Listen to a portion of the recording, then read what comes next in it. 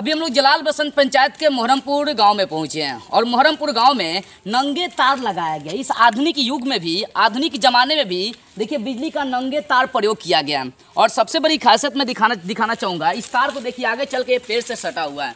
और by chance अगर ये जो तार है कैमरे लाइए, अगर ये तार जो पेड़ में सट जाएगी और कोई भी इस पेड़ को स्पर्श करेगा, उसको मरना पड़ जाएगा।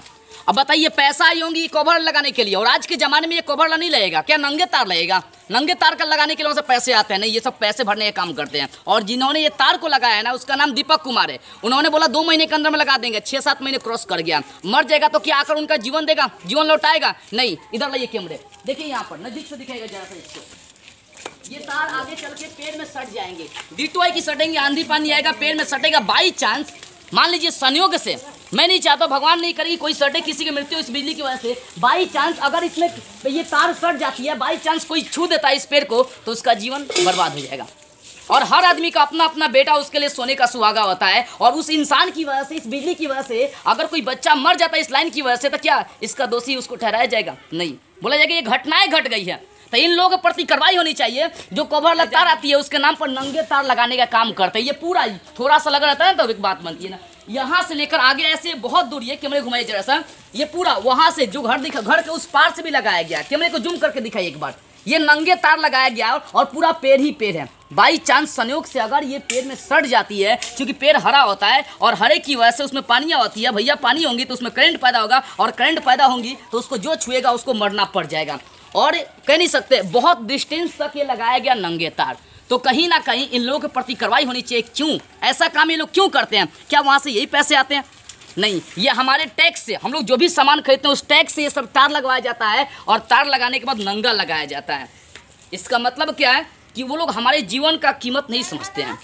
दो महीने बोलेंगे, दो महीने के अंदर में लगाएँगे छः महीने अभी तक हो चुका नहीं लगा हुआ कोई मर जाता है तो उसके प्रति कार्रवाई कुछ नहीं होगा क्योंकि घटना के रूप में दे दिया जाएगा। तो कहीं ना कहीं ये हमारे समाज में एक दुखद घटना के रूप में उभर के आ रही है, क्योंकि ऐसा काम करने वाले के प्रति कार्रवाई होना चाहिए। क्यों? आखिर ये क्यों नंगा तार लगवाया गया? क्या सरकार नंगे तार का परमिशन दिया हुआ?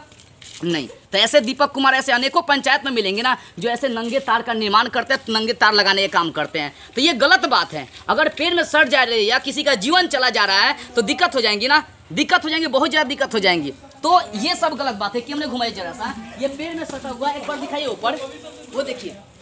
पेड़ में अगर बाई चांस हवाएँ हवाएँ आएँगी और हवाएँ आएँगी तो हिलेगा हिलेगा तो पेड़ में सटेगा। बाई चांस संयोग से अगर कोई सड़ जा रहा है, क्योंकि यहाँ पर देखिए, घास फूस रखा गया, मक्का रखा गया, इसको उठाने के बहाने कोई आए और पेड़ में सड़ जाए तो उनको मरना पड़ जाएगा। तो इसके प्रति कार्रवाई होना चाहिए। ये नंगा तार में बहुत जल्दी बदलाव होना चाहिए। और जलाल बसंत के जलाल बसंत में जितने बैठे दलाल लोग हैं ना, कि हम ये करते हैं, वो करते हैं, विकास हई कर रहे हैं वो कर रहे हैं, आप लोग भी जरा सा इस दृश्य को देख लीजिए। कोई मर जाएगा तो उसका जीवन आप लोग लौटाने नहीं आइएगा।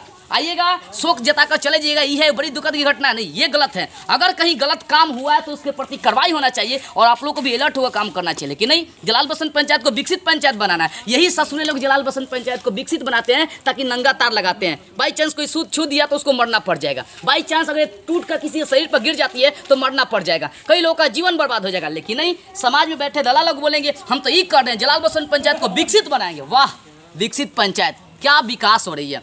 इस नंगे तार के प्रति कार्रवाई होना चाहिए। जितना जल्द हो सके कार्रवाई करिए। क्या आप लोग कमेंट करके बताइए, क्या ऐसे ही नंगे तार लगना चाहिए? एक दो घर लग रहा था ना, बात रहती, लेकिन बहुत लंबे डिस्टेंस पर ये लगाया गया। अब आपकी क्या प्रतिक्रिया कमेंट करके बताइए।